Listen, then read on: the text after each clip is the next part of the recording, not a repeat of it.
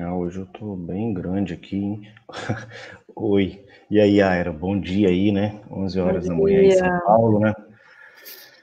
Aqui, 4 horas da tarde. Isso aí. Ajeitar o cabelo da internet. Boa tarde, Moçambique. Bom dia aí, Brasil. Aira, obrigado aí por aceitar o convite, né? Para a gente conversar sobre futebol, né? Hoje, futebol e mulheres, né? Você vem Sim. pesquisando há alguns anos. E queria que você desse um, um bom dia aí. Eu, te, eu, te, eu, vou te apresentar primeiro e depois você, você, você, você vai, né? Vou. É, porque agora esses, essas lives, né, elas vão ficar gravadas e vou, vou ler aqui o que está no, no, cartaz, né? Porque já fica independente. Então, eu te convidei né, nesse primeiro seminário sobre futebol, linguagem e artes, né, que é parceria entre o Centro Cultural né, Brasil e Moçambique e a revista Folia, pretende mostrar um panorama do futebol brasileiro no âmbito da pesquisa, da linguagem, da arte, da memória e da edição. Na sua comunicação, que eu sei das suas pesquisas, já te acompanho já há uns sete anos, já deve ser, né? Desde 2014, mais precisamente, né? Que a gente se conheceu lá no, no Museu de São Paulo, né? Então, para falar sobre a pesquisa sobre as mulheres no futebol brasileiro, é, e sobre as pesquisas nesse campo específico, além de abordar sobre a exposição contra-ataques, as mulheres do futebol, realizada no Museu do Futebol, no estádio do Pacaembu, em São Paulo, em 2019, da qual você foi curadora. A Aira Bonfim é pesquisadora, historiadora do esporte, mestra pelo Programa de História, Políticas e Bens Culturais, do CPDOC, da Fundação Getúlio Vargas, do Rio de Janeiro, com pesquisas sobre a iniciação das brasileiras no futebol no início do século XX, fez parte da equipe de implementação do Centro de Referência do Futebol Brasileiro em 2011, né, que é no Museu do Futebol, em São Paulo, né, no estádio do Pacaembu, local onde atuou até 2018 como técnica pesquisadora. Foi co-curadora da, da, exposição, da, da, né, dessas exposições que você vai se referir, né, que não é só a contra-ataque, né, tem outras também, né. Então, está com você. Sim, obrigada, Gustavo, pelo convite. Boa noite, Moçambique. Né? Boa, bom dia, chuvoso aqui em São Paulo.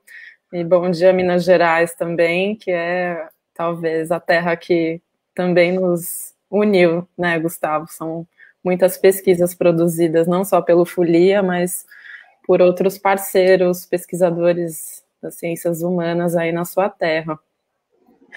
Então, essas são as minhas apresentações, né? Mas o que eu trago aqui é uma experiência muito, às vezes, um pouco peculiar, porque eu não começo a, a pesquisar necessariamente através do, do ambiente acadêmico, mas dentro de um museu, que é o Museu do Futebol, que fica aqui em São Paulo, no Pacaembu, como você se referiu. E aí a pesquisa dentro de um museu é um pouco diferente, né? Que primeiro a gente sim vai beber das pesquisas que já foram produzidas aí pelos teóricos, né, pelos acadêmicos, mas mais do que isso, Gustavo, a gente tem essa missão de fazer uma ponte, de fazer uma mediação com o público que visita uma exposição, que visita o museu, ou que simplesmente vai até o museu para pesquisar, né? Saber o que existe, o que, que encontrar. E nesse sentido é muito mais é, um produto bruto, né? A pessoa às vezes vai encontrar uma pedra bruta que precisa ser lapidada, né?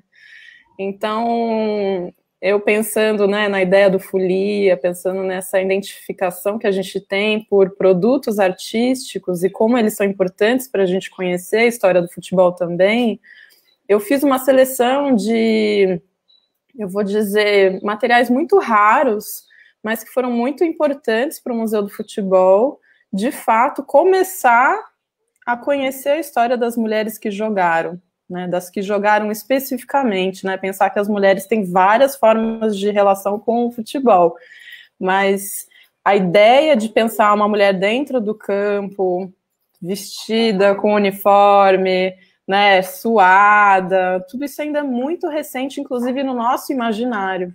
E eu acho uhum. que é uhum. disso a parte mais importante de, de, da gente lembrar. Então, eu estou falando que há 10 anos atrás, Gu, quando a gente entrava na maioria das exposições, ou quando você, de alguma forma, pensa um álbum de figurinha, um livro de futebol, dificilmente a gente se encontrou com imagens dessas mulheres, né? E de alguma forma essa ausência também é, dificulta, né? Essa diminuir esses preconceitos ou de alguma forma da gente se aproximar dessas histórias, porque o fato da gente não ter visto essas imagens não quer dizer que elas não tenham acontecido, né? Uhum. Então isso é, é muito importante de pensar. Lá nesse sentido, caso... então, o seu primeiro interesse quando você chegou no Museu do Futebol nem passava por isso, você também vem por o crivo do futebol masculino, né? Era o seu imaginário também, né?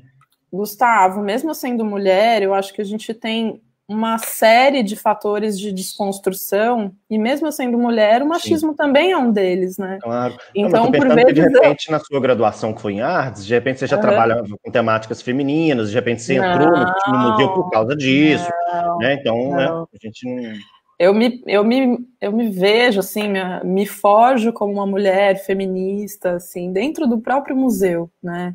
E, de alguma forma, a gente já tinha uma preocupação com outras intersecções, assim, sociais que são problemáticas na história do futebol. Então, principalmente de raça, de classe, geracional. Então, a gente já tinha, assim, um olhar muito especial para esses outros futebols, olhando principalmente para o futebol amador, para fora da cidade de São Paulo, os outros uhum. atores que que estão envolvidos nesse fenômeno, né? Então tudo isso já era algo que a gente tinha uma atenção.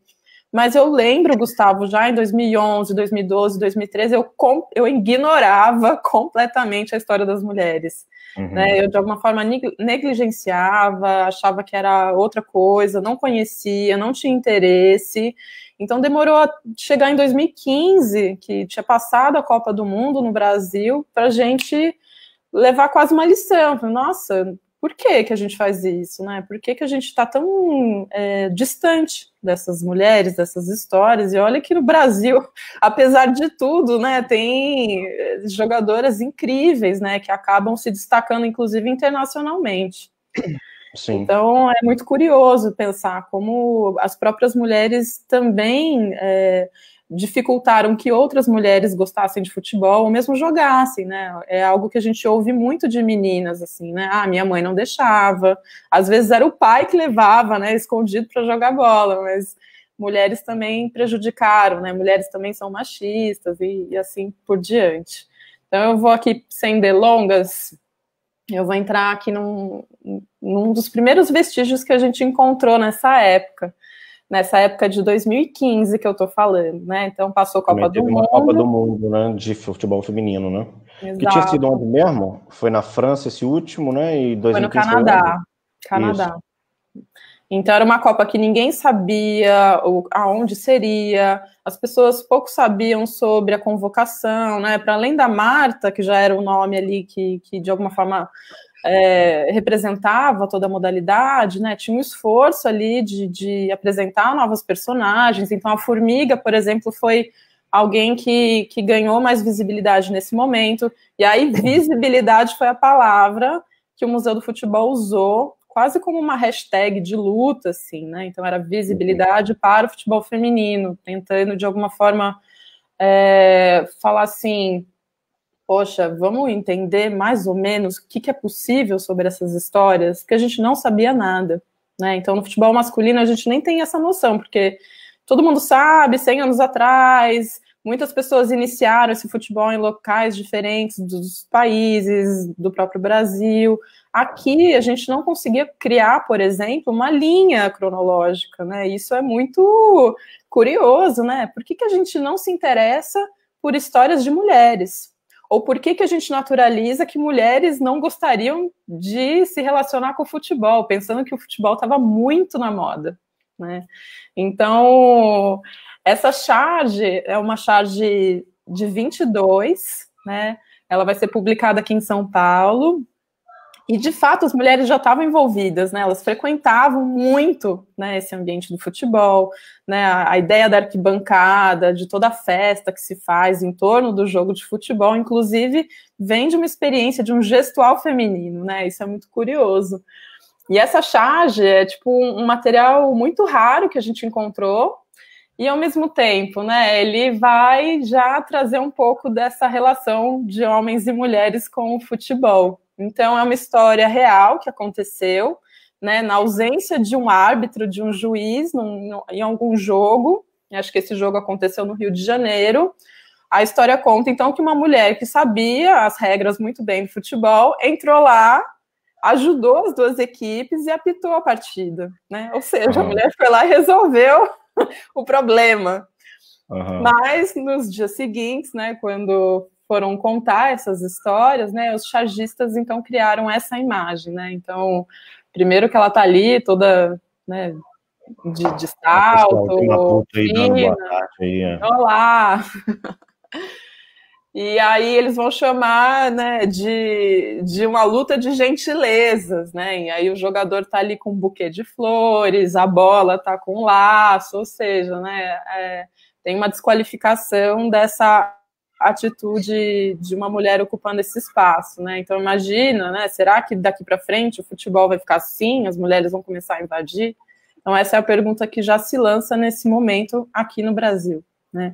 E aí eu uhum. gostaria de dizer que em 22 já tem muito futebol de mulheres acontecendo, não só é, não no Brasil especificamente, mas fora dele. Né? Os primeiros anos 20, 21, 22 são anos em que a França, a Inglaterra e a Espanha tem várias equipes que já já estão fazendo jogos e jogos inclusive entre é, esses países, né? Então, uhum. nesse primeiro momento, o que a gente mais vai encontrar, que eu vou passar para o slide seguinte, são essas pistas, né? Então, é, esses registros internacionais em 2015 já estavam catalogados, disponíveis para consulta em bancos de dados diferentes, não são bancos especiais de futebol, mas de alguma forma eles ajudavam a gente a entender que existia já uma cena de mulheres praticando esse futebol. O primeiro, a gente tem então um cartaz inglês. Se a gente olhar a data dele, 1895, né, ele já está anunciando um campeonato feminino na Inglaterra. Ao mesmo tempo, é a mesma data que o Charles Miller, a princípio, né, também faz o primeiro primeira partida oficial aqui no nosso país. Então é muito curioso, né? Na mesma época, a gente já tem ali os dois sexos experimentando no corpo o futebol. E no cartaz do lado é a capa do Le Petit Journal, uma capa de revista, uma das talvez primeiras capas que então já tem as mulheres aí representadas.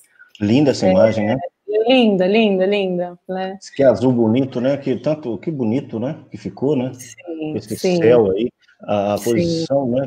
Que bonito. Sim. E o mais curioso é que ele representa essas jogadoras, né? De uma forma um pouco mais real, né? Ou seja, tem uma violência ali, tem uma entrada, né? Forte tem aspectos do jogo. Uma virilidade, né?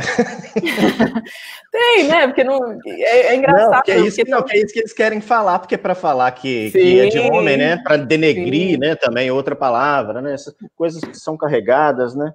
É, porque se você querer... olha as outras capas femininas do mesmo período, com outros esportes, tênis, golfe, até bola ao cesto, é, as mulheres estão sempre graciosas, cheirosas, lindas, né? Então tem um uhum. outro aspecto de reprodução, de representação, e de fato esse questionamento, se ele é um esporte muito violento e adequado, ele vai estar tá nessas entrelinhas desse, dessa mesma capa, né? Então o texto ali embaixo vai colocar isso.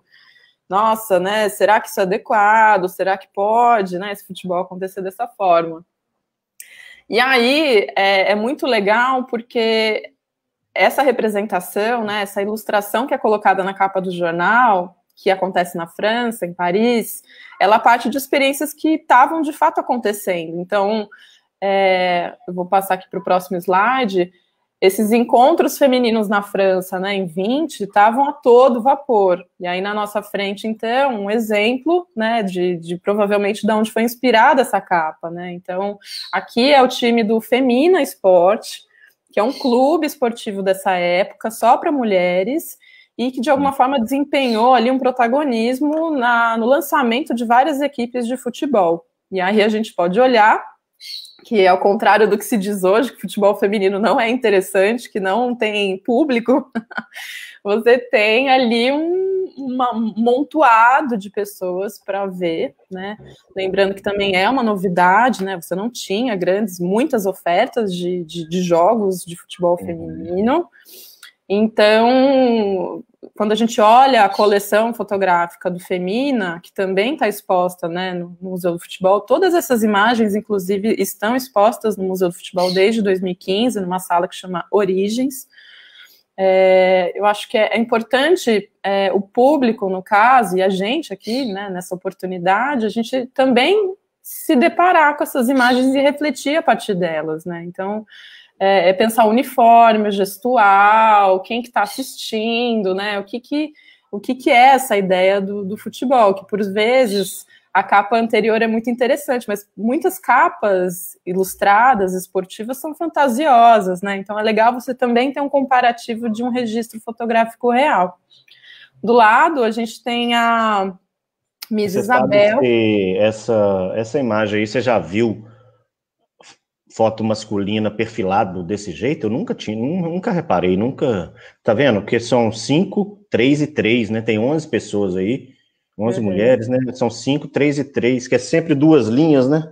Só quando tira tudo, fica aquela confusão, mas desse jeitinho aí, eu vou começar uhum. a reparar nessa iconografia também, porque às vezes até um jeito de. que já quer se fazer de um jeito diferente mesmo, né? Às vezes também por causa de saia, Sim. porque tinha mulheres que jogavam de saia também, né? Ou não? Sim, aqui, ó, a Miss, a Miss é, Isabel, que é, ela é norte-americana, né? E essa foto é, inclusive, uhum. bem mais antiga, 1900 Acho que 11. Tá vendo? Que elas, elas, elas estão, ó, você vê o joelho daquela ali, então tem uma na frente, tipo, tampando. Se ela tá de saia, tá com a perna aberta, né? É, a gente sabe muito pouco, infelizmente, né, sobre essas adequações, mas você percebe que, que sim, eram roupas maiores, como elas jogaram até a década de 40, até o início da Segunda Guerra, você percebe que as roupas vão inclusive diminuindo, vão ficando mais leves, né? Ao contrário desse caso norte-americano, que você vê como é uhum. ainda ali um, uma, uma tentativa, né? Você percebe que é uma saia amarrada ou costurada, né? Tem um coturno ali, não, não é exatamente a chuteira que as francesas estão usando, mas é, já é um registro de um futebol acontecendo no iníciozinho do século XX, né, nos Estados Unidos, inclusive. E aí então, eu vou... Aí são os primeiros indícios que você está falando no mundo, né? É, aquele Sim. outro ali foi em 15 já no Brasil, o anterior, né? Não, aqui... Um aqui anterior. a gente está Estados Unidos, França, Estados Unidos, né? E o único do Brasil que eu trouxe foi essa, essa abertura, né? Onde a gente tem uma ah, charge de uma juíza, ou seja, uma. Ah, então, esse aí, esse aí é de 15, né? No Brasil esse já. É, esse é 22. É 22. 22. Ah, tá. Em Julgaram, 2000... Tem indícios delas terem julgado pela primeira vez em 1915, não é isso? No Brasil? Sim, sim. Temos alguns indícios dessa mesma época. Mas em 2015, 100 anos depois, a gente não sabia não sabia, é, a gente não tinha nenhuma imagem antes de 2015, onde começamos essa pesquisa. E essa aqui, que eu estou trazendo para vocês, é uma das três imagens que a gente começou a encontrar nessa época, né, 2015. Então, é uma imagem de jornal, né, é um acervo que tem uma qualidade prejudicada, né, perto do que a gente acabou de ver, né, das, das imagens internacionais.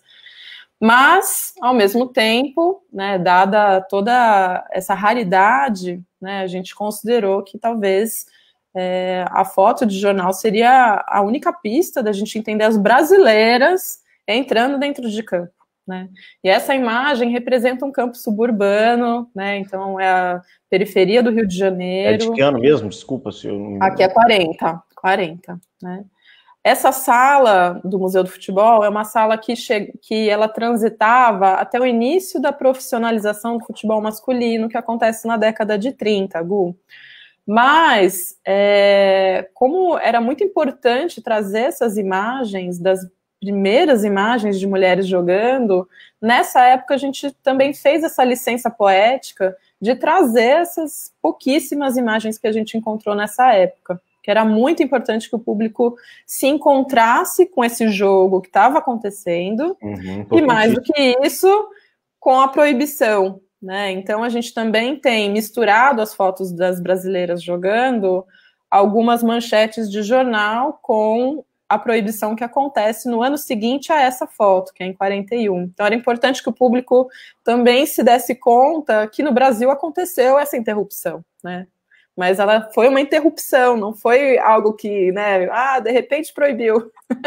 É, então era importante mostrar que teve ali um alvoroço, uma popularização. Eles estavam avançando, pobres. né? Estavam popularizando também no o feminino e houve interrupção, né? Exatamente. E então, aí isso é... retardou os campeonatos mundiais, né, as competições, porque, por exemplo, para as pessoas entenderem, né, que no futebol masculino, a primeira Copa do Mundo é de 1930, o masculino é 19... ah, o feminino é 1991. Né, são 60 anos. A primeira seleção brasileira de, de 1917, se não me engano, e, e a, a feminina em 1988. Né? Então há uma diferença mesmo, e, e, eu achei interessante uma vez que a gente conversou, e semana passada eu coloquei isso para a Silvana para a gente conversar, para eu trazer mais elementos para a gente ampliar essa argumentação, né? De que elas estavam avançando, dava, tinha público, né? Como você mesmo falou, e aí, com a profissionalização do, do masculino, é, também interromperam porque ia ter que dividir o dinheiro, né? Quer dizer, ia ter jogo ali de poder, ia ter, ia ter jogo, não ia estar tudo na mão deles, como, como ficou praticamente até agora, de um jeito muito sinistro, né? Porque é sinistro. Sim, sim. É, existe uma sensação de tá competição, tá né? Que joga futebol feminino lá, né? As trancas e barrancos, a gente está é, é, entre os quatro das melhores competições do mundo desde quando começou. Né? Não é o primeiro, né? Mas tá ali, né? E a marca é uma coisa absurda. Então, por isso a gente pode argumentar que é uma, nesse sentido de uma maneira sinistra, né? Porque os argumentos são sempre de que elas elas não jogam, na verdade, mesmo silenciando, elas julgaram ao longo do século XX, clandestinamente, né? E que ela não dá público, e que mulher não sei o quê, que mulher não sei o quê, aí só vai tampando isso que a gente está tentando, né? Com, com isso claro, que, que, vocês claro. fizeram é, brilhantemente, né? No Museu do Futebol, que tem uma repercussão absurda no Brasil, né? Um dos museus mais visitados no, Brasil, com certeza, né? E, e, e, colocar essa nessa na sala do origem, né? Já colocando essa história, né? Até onde sabe, né? Sim, sim. Inclusive essas moças que estão aparecendo na imagem, elas já ganhavam, né? Uma porcentagem das entradas que esses jogos eram cobrados. Elas já viajaram, saíram do Rio de Janeiro, foram para Minas Gerais, vieram para São Paulo, foram para Santos, elas jogaram no estádio do Pacaembu. Então, e parece que a gota d'água foi quando elas receberam um convite para sair do Brasil, né? Jogar em Buenos Aires e em Montevidéu, no Uruguai. Então, ali, de alguma forma, começa uma desqualificação que não é técnica, né? Ah, porque elas jogam mal, nunca se diz isso, pelo contrário, a desqualificação é sempre moral. Então, que elas são menores de idade, que elas vão envergonhar o país, porque elas não têm condições sociais nem de, de, de estarem em um outro lugar, nem roupa para usar nesses hum. países. Hum. É, é muito curioso. Também no início, né? Sim, sim, sim. Tem mulheres pretas, né? Tem, tem, a mesma. É um pouco, inclusive, o quintal do Leônidas da Silva, né? Esse ambiente onde esse futebol está prosperando, né? Porque é, a, a, ideia né, que Leônidas deu certo, vamos lembrar que já passou 38, é uma Copa que tem muita projeção aqui no nosso país, né? O Brasil surpreende, ele se classifica bem. Então, o subúrbio do Rio de Janeiro, ele tem ali um, um boom que acontece, né, de, de todo mundo querer jogar futebol, inclusive as meninas, e as meninas pretas, e meninas pobres.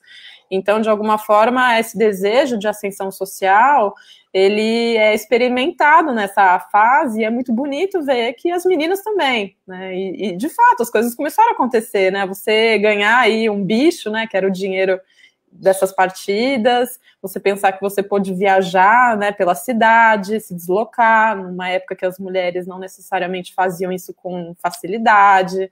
Então, o futebol é muito curioso para entender a vida dessas pessoas nessa época, né? Por isso que eu me apaixono tanto. Eu vou passar para o próximo slide, que ele também é muito curioso, e ele vai encerrar, então, um pouco desses materiais que a gente expôs até 2015, que talvez seja, para mim, um dos mais surpreendentes de todos, né? Que, que antes mesmo da gente identificar esse, essa crescente de mulheres fazendo equipes e jogando no Rio de Janeiro, é, na década de 30 a gente vai encontrar o futebol feminino é, apresentado como uma atração de circo. Né? E essa atração vai acontecer em diferentes estados, do norte a sul do país, e ele virou uma grande pergunta para todo mundo nessa época, principalmente para mim, né? O que, que significa né, esse futebol estar dentro de uma programação circense? Quem eram essas atrizes? É, como que era esse jogo, né? Era um jogo de brincadeira, encenado, era um jogo mais sério mesmo, né? E de alguma forma ele era tão espetacular, tão exótico, porque não existia futebol de mulheres em quase nenhum lugar, que a, acabava sendo uma atração vendável, né? E é um pouco uma mistura de tudo isso. isso aí, mas então essas informações, elas não, não, não, é, não, não, tem essas informações aí que você está falando. A gente está aos pouquinhos, né? Uhum. Você hoje, eu, hoje eu vou mostrar daqui a pouco um mapeamento que eu fiz, então é interessante pensar que como você não via futebol acontecendo, né, entre mulheres, o circo foi extremamente responsável por popularizar essa ideia, né? Então, se ninguém teve essa ideia, ele ajudou. Então, o circo ele vai itinerar, ele vai viajar, né, sempre o tempo inteiro. Não é um circo só, são vários circos. Né?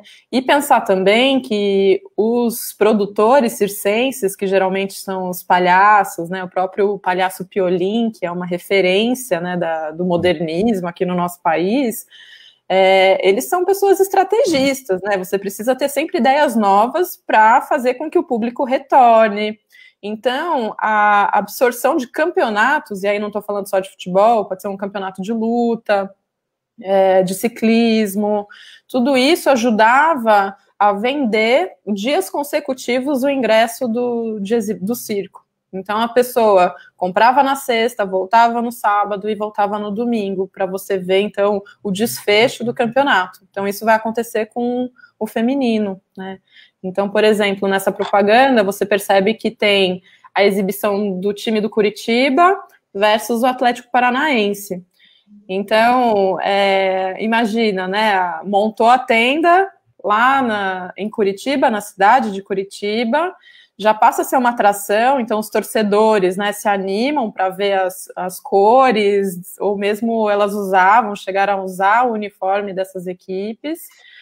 O ambiente do circo se dividia, como se fosse uma torcida dentro de uma arena de futebol e as pessoas uhum. iam, iam torcer por esse time até o final das exibições desse circo na cidade, né? Então isso é muito estratégico, né? Muito importante de, de se pensar dessa forma, né? Que o circo precisa sempre vender ingressos.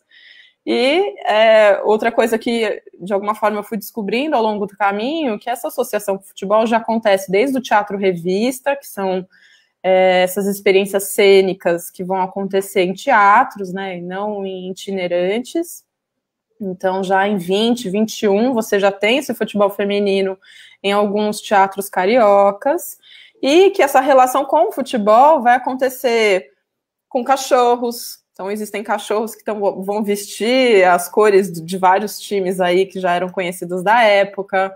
É, você tinha um futebol de bicicletas, de mini bicicletas, que também vão provocar essa relação de relações com os clubes esses produtores convidavam os dirigentes né, para irem lá, convidavam os cronistas esportivos para estarem né, na, na, nas apresentações e divulgarem os espetáculos. Então tem uma relação muito curiosa que dificilmente a gente analisou isso, né? A gente que conhece muito das pesquisas que acontecem na, na história do futebol aqui no Brasil, né? A gente pouco pouco observa né, essas outras relações e pensando que estava todo mundo dividindo o mesmo espaço, que é o ambiente da diversão, né, do entretenimento. Então, hoje eu tenho muito mais fotos sobre essas, essas atrizes, né, elas são famílias circenses, são atrizes mesmo, e elas de alguma forma, em algum momento você encontra um depoimento falando da relação delas com algum time de futebol, ou dizendo que elas entravam em cena para fazer bonito mesmo, ou seja, né, tinha um exercício técnico ali, já que essa desenvoltura do corporal era algo que, que tem relação com a experiência do circo. E uhum. continuamos pesquisando a ponto de chegar nesse resultado aqui, que é esse mapeamento, né? Eu acho que talvez esteja um pouco pequeno, mas ele dá uma dimensão, né, em cada pontinho, né, então tem um pontinho no Nordeste, Rio de Janeiro, Curitiba, Porto Alegre, Blumenau, Juiz de Fora, e é, aparições que vão da década de 20 até 40. Então é importante é, que foi possível, durante minha pesquisa, minha dissertação de mestrado, mapear e perceber que existe ali uma, um, um, caminho sendo feito, né? Então o Brasil inteiro, de alguma forma, foi vendo. Tem algumas, inclusive, em Manaus, que eu estou tentando achar e comprovar que elas se, se exibiram em Manaus. Uhum. E aí, agora seguindo, né? É, voltando para essa ideia das brasileiras que estavam jogando bola, já mais tarde, né, depois das exposições do museu, eu continuei pesquisando. Foi esse momento que eu criei muitas perguntas para mim mesma, então eu tinha muita vontade de continuar pesquisando outras fontes e que desembocou nessa dissertação de mestrado, que se tudo der certo a gente lança o livro ano que vem. E para minha surpresa, Gustavo, eu encontro muito material dando dicas e contando episódios de mulheres, de meninas que jogaram bola em diferentes lugares do, do Brasil. Né? Uhum. Então, por exemplo, essa capa de revista que, que eu estou mostrando aqui é de 1920, né? A Vida Esportiva é uma revista ilustrada carioca, né? Muito importante nessa época, porque ela de alguma forma é, trazia fotografias do Brasil todo, então times, é, lutadores, tinham experiências esportivas do Brasil todo que ela conseguia publicar e divulgar. E essa equipe que está aparecendo na capa é uma equipe feminina do Rio Grande do Norte. É uma equipe que surge dentro de uma organização das modalidades esportivas, não só o futebol, mas principalmente dos esportes náuticos. E, é, e de alguma forma, essa, essa foto veio, veio por correio para uma prima que estava no Rio de Janeiro. Alguém desse jornal se deparou com essa imagem e com a, o ineditismo dessa imagem e colocou ela na capa. Né? Então é muito legal perceber que quando você analisa, inclusive, todas as capas dessa revista nesse ano, existe uma série de tentativas de trazer essa ideia de uma mulher jogadora, né? Então tem uma ilustração, é, tem Aliás, tem duas ilustrações, tem, tem uma série de, de relacionamentos, assim, né? Também com essas perguntas, se pode, se não pode. E do lado direito, a equipe do Realengo, né, é essa é a imagem posada também, uma das mais importantes que a gente tem, sobre aquela equipe que eu tinha mostrado anteriormente jogando, né, que, que seria essa daqui, vou voltar, né. Então, essa é a foto da equipe posada, é uma foto que também sai na revista, a revista Educação Física, já em 40, né? Tipo, 20 anos depois dessa primeira capa.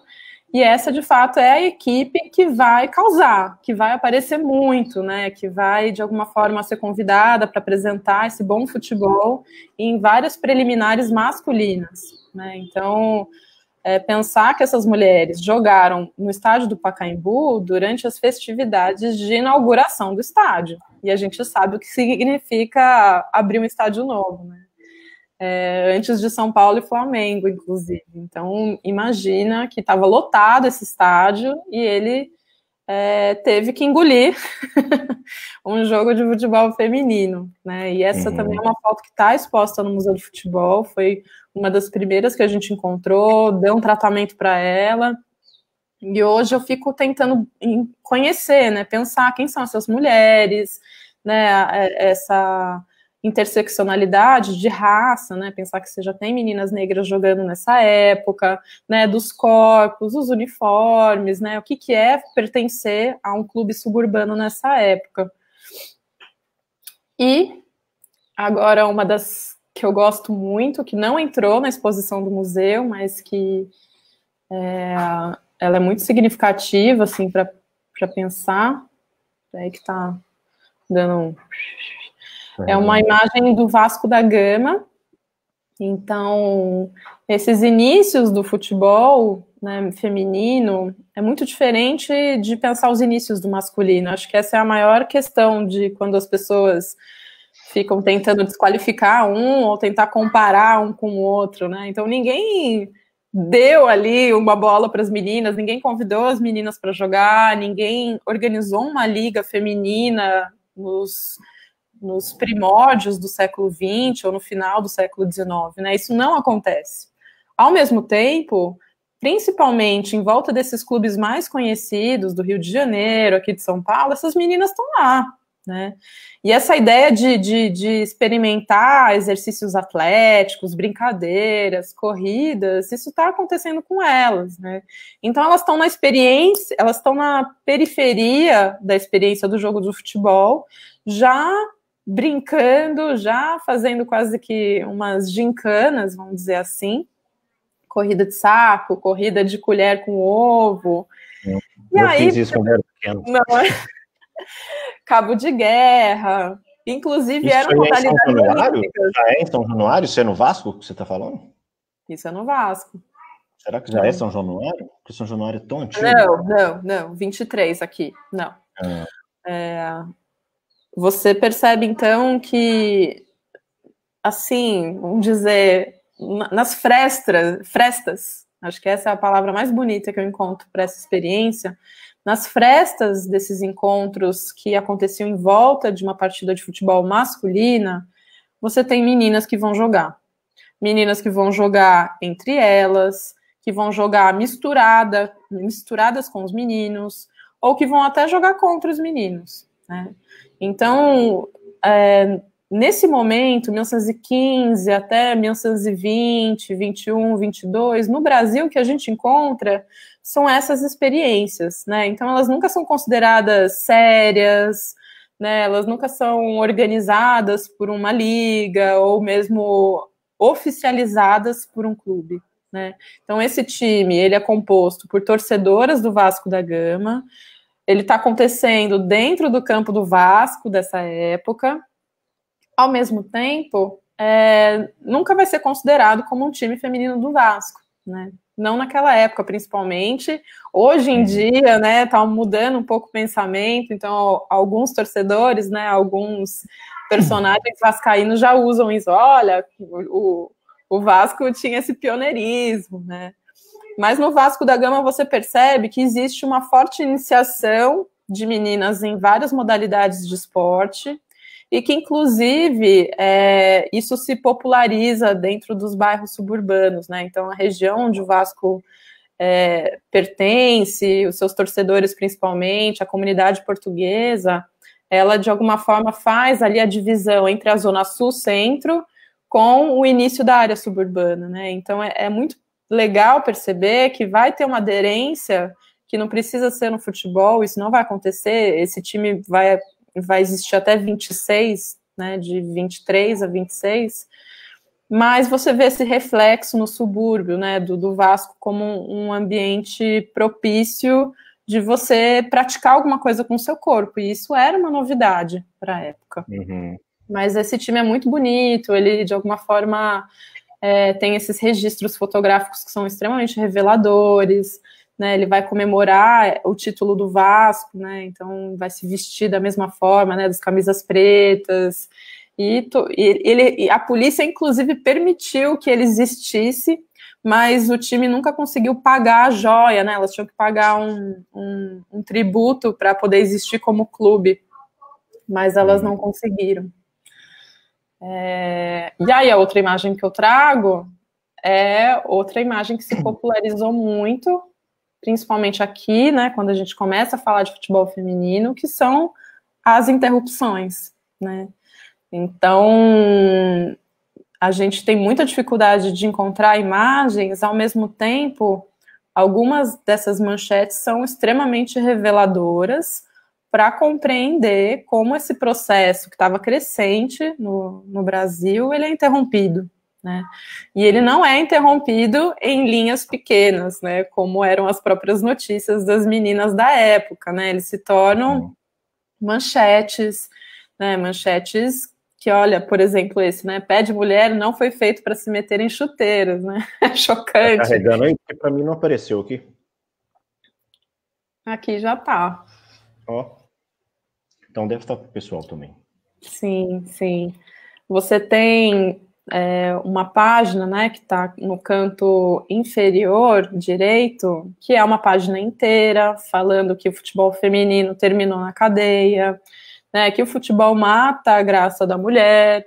Então, é imaginar é, que já existiam, não eram tantos clubes, né? A gente tem mais ou menos umas 15, 15 times de meninas jogando em 1940 mas é você imaginar que, é, para além da dificuldade de jogar, de treinar, né, de encontrar um tempo livre para conseguir aparecer publicamente jogando, você tem então essas notícias que de alguma forma desagradam, né? Se pensar que as famílias, né, a relação dos dirigentes, dos dirigentes, dos donos dos campos, dos próprios clubes masculinos, né, que emprestavam o nome, uhum. a camisa. Então, tem ali um movimento que vai desqualificar é, esse relacionamento, né, esse processo que estava crescente. Né? Então, essas imagens também entraram na exposição contra-ataque, todas essas manchetes. Hoje,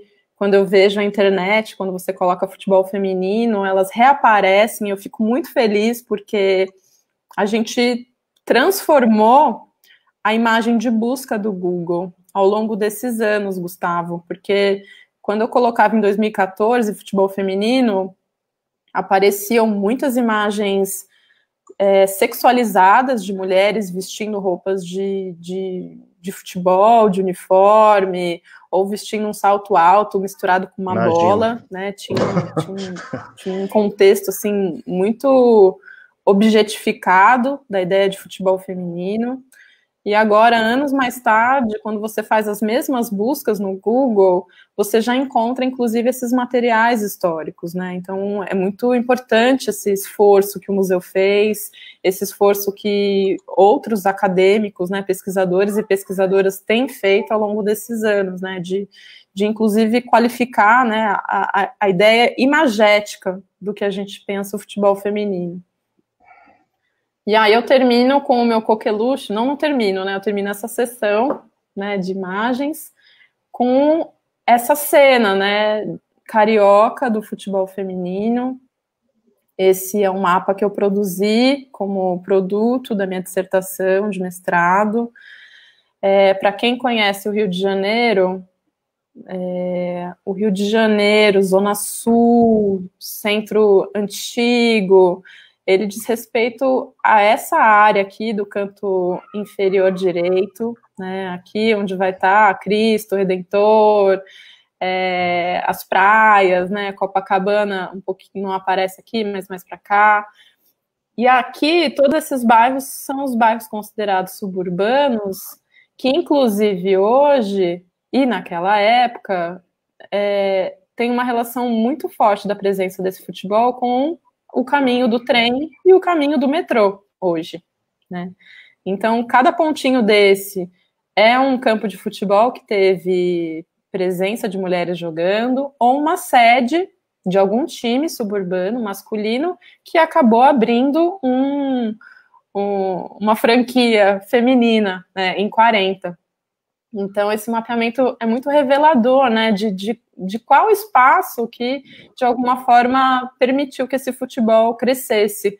Aqui, onde estava Flamengo, Botafogo, Fluminense, não necessariamente, por mais é, vívido da experiência do futebol masculino, ele não consegue desenvolver essa, essa, esse contexto aqui, né? Então, é, é muito louco pensar. Essas mulheres estavam se deslocando aqui, são regiões extremamente longes uma das outras até hoje, né? Quando aquela ocasião que fomos para o Rio de Janeiro, Gustavo, para fazer um seminário sobre futebol de mulheres, o jogo uhum. que aconteceu entre as ex-jogadoras da seleção brasileira foi aqui onde está o mouse, né? No número 2.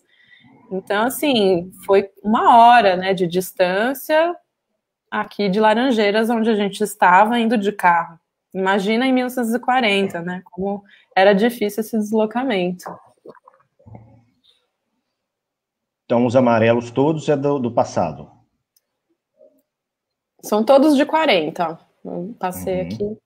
E esses vermelhinhos?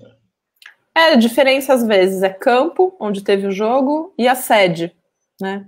Então, a sede uhum. não necessariamente é, tinha campo na sede, ou... Uhum. Eu não tô vendo o nosso tempo aqui, você vai me, me ajudando, né? Deixa eu só... 15 minutinhos. Tá bom, acho que eu tô correto. É, é a, uma parte final, assim, né? Porque quando a gente pensa o futebol e museu, a gente realmente pensa em camisa, pensa em objetos expostos, para quem não conhece o Museu do Futebol, o Museu do Futebol ele trabalha muito com, esse, com materiais digitais, né? E mesmo os objetos de forma digitalizada, né? Então é quase uma brincadeira quando você entra dentro do museu que você encontra é, uma moeda digitalizada num tamanho valorizado, né? Então de alguma forma brinca com essa dimensão real de objetos que trazem memória do futebol. Então, existia um esforço de encontrar esses mesmos objetos para o feminino, né? Poxa, será que foi, foi feito alguma coisa, né? Foi lançado algum, algum material que, que fale né, dessas mulheres ao longo de 100 anos? e a resposta é quase não. a gente, em 15, ainda em 2015, a gente também se esforçou muito, assim, a gente entrou em contato com todos os colecionadores que eram parceiros do Museu do Futebol, e eles quase não entendiam o que, que a gente estava pedindo, assim, tipo, oi, mas uma figurinha, é uma moeda de feminino? Não, não existe, não existe, né? Uhum. Aí nesse momento a gente. É o que, gente, que o moçambicano deve atravessar aqui hoje, né? É, porque eu fico pensando que o campo da pesquisa aqui, né, em algumas áreas, é, é bem diferente do Brasil, né? E Ai, aí eu sempre um fico pensando, fico sempre pensando no futebol feminino aqui para ver aqui em Moçambique, né? Que eu acho que deve estar nesses lugares, assim, que são fatos muito isolados, né? Sim, sim. O Tola é um grande exemplo, né? Acho que é uma porta de entrada para a gente começar a entender esse futebol feminino aqui, né? Claro, claro. Exatamente. Quando a gente olhou para o material da FIFA, né, no Reino Unido, a gente encontrou. Então, esse é um exemplo de um card, né, de uma ilustração que foi lançada, né, ali na, na primeira década do século XX, né. Mas esses similares aqui na América Latina ainda são preciosidades, né?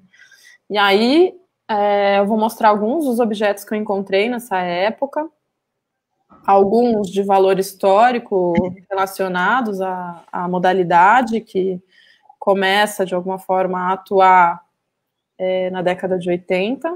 Então, essa é, por exemplo, a primeira medalha né, de um campeonato oficial, né, de uma primeira convocação oficial, quando as brasileiras vão até a China, num torneio que é um torneio experimental, para se entender se funciona ou não funciona esse futebol feminino, encontrando com outras nações, e dá muito certo esse evento, e a sequência dele é, então, a, a, é em 91, na primeira Copa do Mundo feminina, né, que acontece então no mesmo território.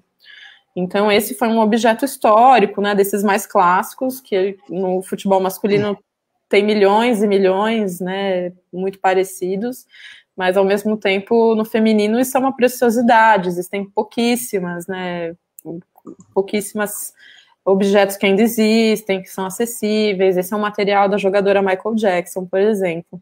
Uhum. É, e aí eu, eu, trago umas outras curiosidades, por exemplo, um é, troféu, né? Então eu, eu deixo esse desafio para hoje. Se você quiser fazer um campeonato feminino e procurar um troféu que tem uma menina representada. Né? Então isso é extremamente raro. E é curioso, porque no futebol amador feminino, que acontece aqui em São Paulo, as meninas nunca ganham um troféu que tem uma mulher representada. Né?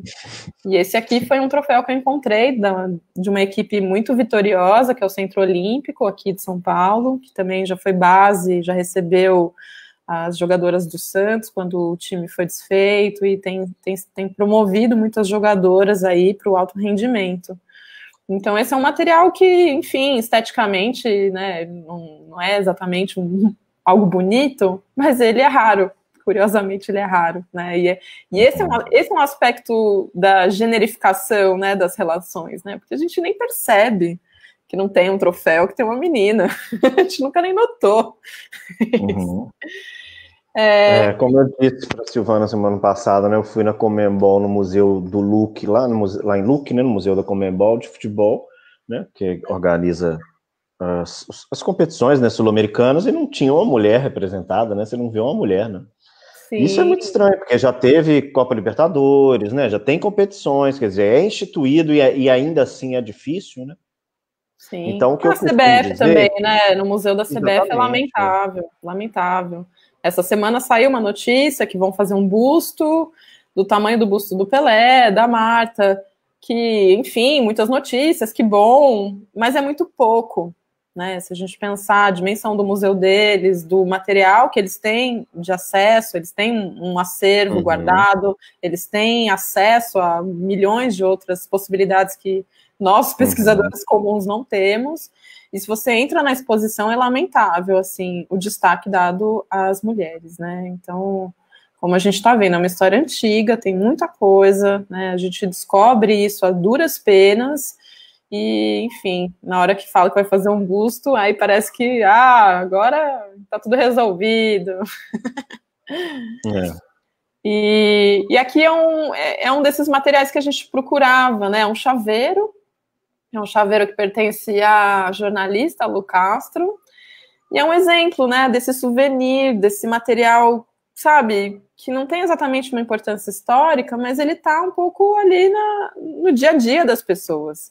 E quando a gente pensa no futebol masculino, você que é atleticano, quantos souvenirs você tem da sua casa ou acessíveis em alguma loja referentes ao futebol dos homens? né? O tempo inteiro a gente consome, né, dentro do mercado uhum. boleiro do futebol, é, produtos desse futebol dos homens. E no caso das meninas, é lembrar que se você quiser comprar uma camisa, eu consegui essa na Copa do Mundo, né? Que é a camisa da França. Uhum. Mas isso é novo, isso não existia. Então eu não tinha uma camisa. Então em 2015 esse chaveiro da Lu ganhou um outro, outro status de importância, né? Porque realmente é, é algo que não tem. Né? Status de memorabilia de museu, né? Nossa, pois é. E aí, essa aqui é o último slide que eu estou abrindo, com materiais também. A gente já tem é, um cunho histórico aqui nessa seleção.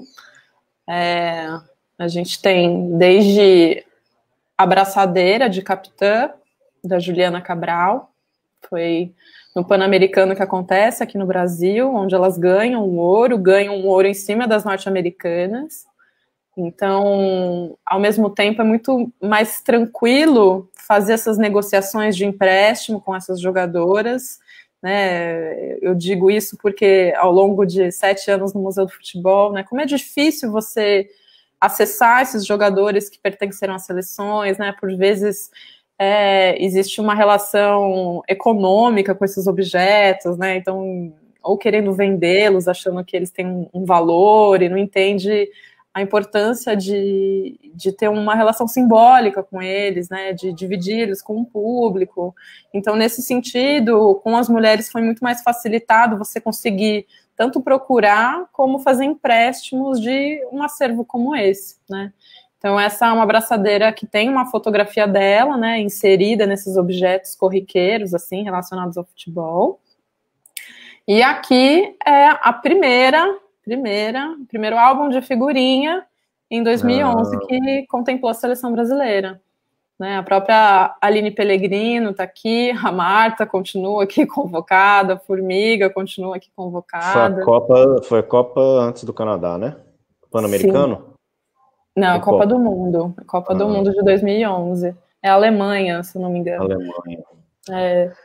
E... Pois é, o meu primeiro álbum foi de 82, foi muito importante para mim na época, assim, eu guardo muitas imagens, eu adorava, porque hoje é tudo padronizado, né, fica tudo igual, eles olham pro mesmo jeito, é tudo igual, mesma altura, e antes era diferente, era, achava Sim. melhor, assim, porque um olhando para um lado, o outro com a mão assim, o outro de um jeito, outro em ação, o outro não, quer dizer, do jeito que calhava, tinha a foto do cara, e isso era sensacional, porque ajudava a memorizar, então você olhava para as fotos, e, e, tinha uma ação, você gostava daquele jogador por causa da foto. Você nunca via jogar, nem sabia nada. Você amava aquela, aquela foto e amava aquele jogador. Aí você ia ver, é outra história, o cara estava até no banco.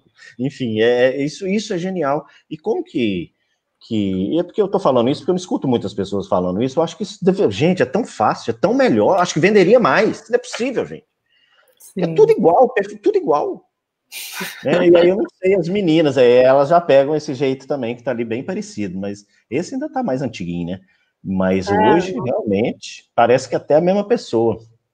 nos, nos 300 é, figurinhas. Sim, lá no Museu do Futebol, na biblioteca é, do Centro de Referência, que foi representada pelo Ademir também aqui nessas suas conversas, é, lá você tem facsímiles de todos os álbuns, todos os álbuns de figurinhas assim que foram lançados no país, né? Então, Balas Esporte, década de 30, 20, mesmo quando não existia fotografia, você tinha ilustrações, é, você tinha outras modalidades misturadas de esporte, você tinha a estética nem se fala, né? Porque é um, é um deleite, assim, você acompanhar o desenvolvimento estético dos álbuns de figurinha, quando era papel, não era autocolante, eu, eu sou apaixonada, assim, né, a gente fez uma exposição chamada Futebol de Papel, onde a gente devolveu, então, esses facsímiles para o público, então você chegava ali num ambiente de parecia troca de figurinha, e você tinha vários desses álbuns que você podia mexer, ver, se reencontrar com eles, e eu acho que são objetos muito importantes, assim, né?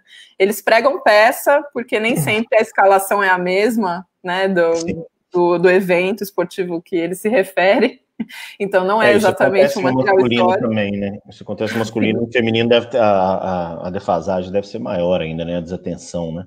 Ah, acontece, e, acontece. Então foi, teve o álbum de 2011, 2015, 2019, que você continua, 2000 depois 15, sim, 2019? Sim. Sim, é, não parou mais. Isso é importante, porque acaba que as meninas também colecionam, os meninos, né? Isso vai. Sim. Isso é importantíssimo a representação. Acho que isso eu venho batendo aí sempre, né? Eu acho que, né, é. como representar na literatura, né, na música. Publicamos no ano passado uma música bonita naquele dossiê do, sobre futebol e mulheres, que a Silvana organizou, que o Skank gravou, né? Que chama Alexia, que é uma jogadora do Barcelona, que fez ah. um gol lindo, que foi o gol do ano e tal, e ele fez um gol, hum, nossa, ela fez um gol, uma música muito bonita.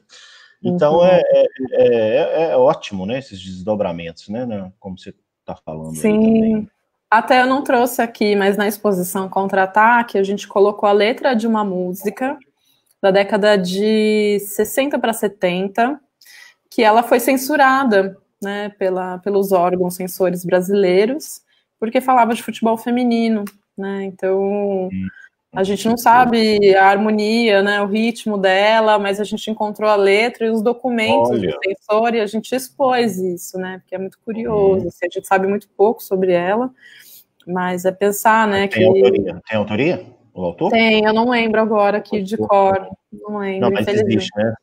Existe. Se sabe, né? existe. né? Não, é isso, é mais um produto para ser lapidado, né? Porque é, é curioso pensar, né? Que nenhuma música é, falando sobre essa imagem, que é uma imagem que a música cria, né? De mulheres jogando, nem isso foi permitido ao longo desses, desse período proibitivo, né? Aqui no Brasil. Então, você não podia um campeonato, você não podia construir uma liga, você não podia inaugurar um clube feminino, né? Isso, uhum. Isso diz muito, assim, até desse afastamento das mulheres com práticas de lazer no geral, né? Então, as pesquisas hoje revelam, né, que as meninas com 15 anos, né, na, na, faixa etária em que elas menstruam, elas deixam de praticar esporte. Depois que elas saem das escolas, né, que é um espaço que por vezes tem uma quadra, tem uma educação física, esse número reduz mais ainda. E assim vai, né? Gravidez, trabalho. Então, a relação das meninas com é, essa sociabilidade que acontece, por exemplo, no futebol de várzea, no futebol amador, esses encontros esportivos, né, de se encontrar para assistir um jogo, tudo isso ainda é dificultado. Né? Então, uhum. não é considerado algo natural, é, é muito mais é, diferente você encontrar num grupo de jovens, adultas, meninas que têm algum um grupinho de vôlei ou de basquete do que o inverso, né? Então, é sempre bom lembrar disso, né? Eu acho que o debate vai nesse sentido. Nós não queremos aí promover a profissionalização de todas as brasileiras, mas a gente quer que elas tenham a oportunidade de experimentar qualquer tipo de jogo, né, de qualquer experiência de lazer. E aí, por, por último, eu trouxe esse selo, que é também um objeto muito raro, né, de 2015, de 5, né, a, numa fase que você tem Marta, né, você tem uma projeção aí da, da seleção nacional, internacionalmente, e aí se lança no Brasil o primeiro selo com, com uma mulher jogando bola, né, então uhum.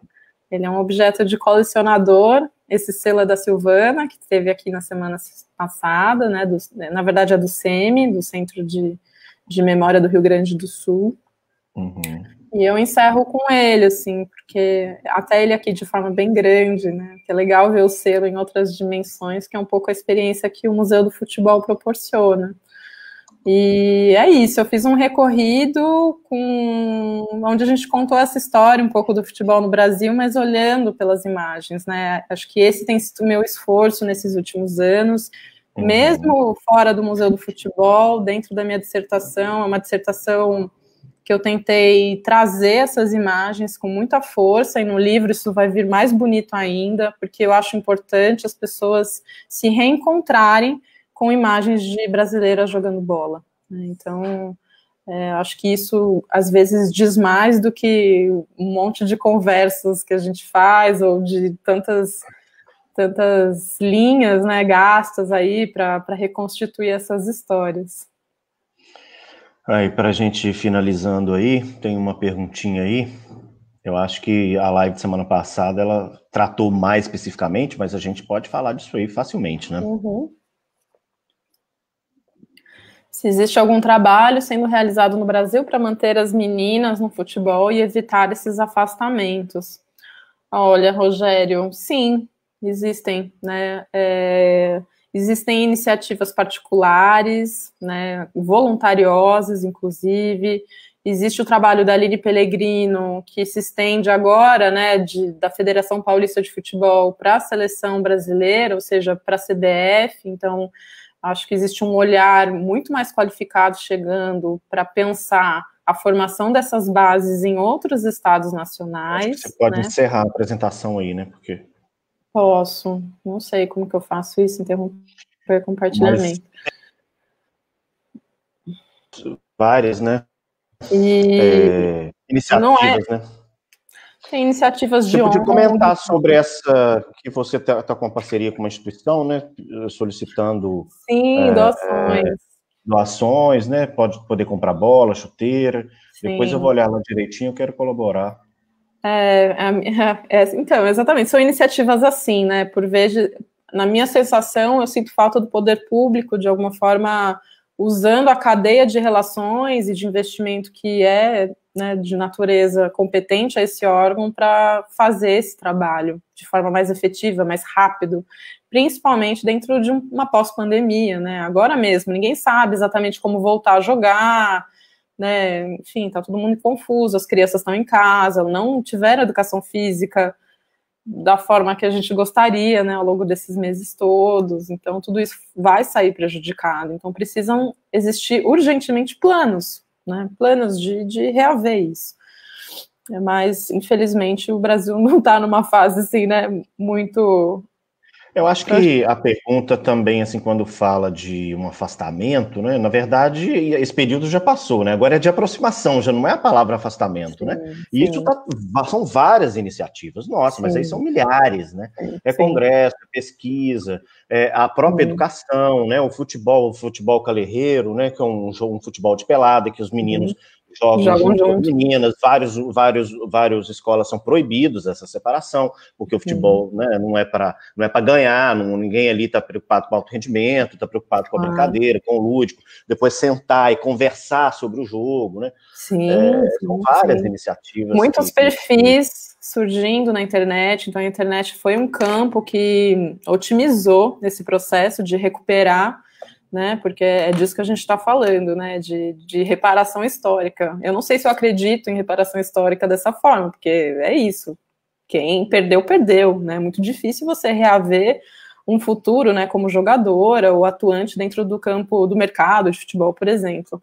Mas é isso que tem acontecido desde um esforço da Comembol de incluir times femininos, é um esforço sim de reparação histórica, mas eu vejo a internet como esse ambiente de debater esses temas, então a gente não sabia desses temas há 10 anos atrás, né, Gustavo? A gente mal sabia que era proibido. É, isso é determinante, gente... isso quando você fala, né, que quando a Comembol obrigou, então para quem não sabe, né, que tipo, a Comembol é tipo a Liga dos Campeões, né, a Libertadores na América do Sul. Então, todos os clubes que jogam a Libertadores masculina, eles são obrigados a ter time feminino, eles são obrigados a ter um time feminino. E isso já está claro, né? conversei isso com a Silvana, eu pensei, se isso é só mais alguma coisa, vai ser só um ano. Não, ela falou que é isso, já está instituído, então isso não tem volta, já foi um não ganho. Tem, né? tem uma total Sim. aproximação. Então, agora, por exemplo, o Cruzeiro está na Série A, né? Dois clubes em Belo Horizonte no feminino. E o, e o Galo está é, é, é, tá na Série B, junto com a América. Então, quer dizer, já estão querendo estar tá na Série A também. Então, acho que isso vai estimular, enfim, a competição, que é tudo é para o bem e para o mal, né? Como a gente vem vendo as coisas aí no mundo, né? Mas. Sim. Né, eu, acho... é, eu vejo muito esses movimentos de mulheres também é, levando esse futebol feminino, né? E eu não estou dizendo que o futebol feminino seja um futebol feminista, mas eu vejo mulheres feministas de várias idades, de várias é, ideologias, de lugares diferentes, entendendo que é a hora de promover outras mulheres. E o futebol, uhum. acho que caiu uma ficha, assim, né? Nossa, Brasil, país do futebol, a gente não conhece a seleção, a gente não assiste, a gente não acompanha. E aí é muito curioso que todo aquele medo, né, de ah, dividir público, competir com o masculino que você sinalizou já na década de 30, isso se faz uma falácia, uma mentira, porque é um outro público. É um público que nem assistia futebol, está assistindo, está indo para os estádios. É, uhum. Eu fui recentemente assistir um jogo da seleção, tinha muitas mulheres lésbicas, casais, famílias que de alguma forma também se afastaram do futebol masculino por outras questões relacionadas é a isso. Né? Quando eles crescerem, eu acho que não vai ter a briga de torcida como era masculino. Olha que coisa diferente, né? É, essa loucura, é. né? Essa pancadaria, talvez não, não tenha. Não, é apoio, todo mundo precisa se apoiar, não, não tem, não, não tem né? essa, essa performance de virilidade, né, de, é, de rivalidade. Você, né? Uhum, sim, que é outro público, sim. né? Então, é, são várias iniciativas acontecendo que estão ajudando no, no, geral, assim, né? Esportes femininos, outras modalidades, é, identificar essas irregularidades que continuam acontecendo. Então, no meio da pandemia, né, a gente viu problemas surgirem, né, que foram é, vastamente divulgados na internet, assim como boas soluções também. Né? Então, isso uhum. é bom para todo mundo. E aí, aproveitando, né, eu criei uma vaquinha, é, como a gente diz no Brasil, a, o chapéu, né, juntar aí doações, né, essa, essa iniciativa de juntar doações para que a gente, nesse momento de Dia das Crianças, que é um feriado que vai acontecer agora, segunda-feira aqui no Brasil, a gente possa destinar esses recursos para a compra de equipamentos esportivos de futebol, bola, chuteira, uniforme, para meninas. Né? Então, aqui em São Paulo existe uma cena onde tem muitas meninas jogando no, no amador, né? A ideia não é, é, necessariamente as escolas de futebol que querem desenvolver esse futebol de forma profissional, mas atender a expectativa do lazer, né? E aí, se no futebol masculino já é precarizado essa cena, no feminino as meninas não têm bola, as meninas não têm chuteira, ou jogam com chuteiras muito velhas, de tamanhos é, diferentes do pé. Então as histórias foi, foram, são muito tristes.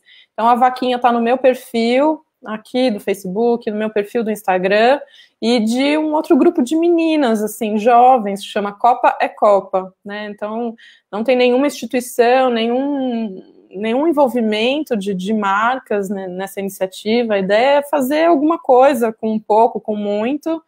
E, e é isso, né? Dar uma bola para uma menina, porque é uma coisa tão simples e que é. ao mesmo tempo tem chamado a atenção das pessoas. Nossa, eu nunca pensei nisso, né? Dar uma bola para uma menina. Reais.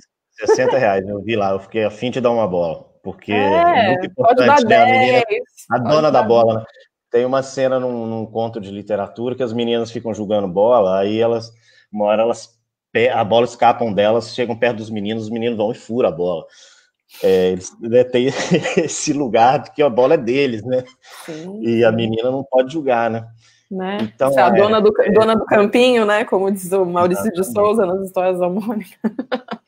Isso.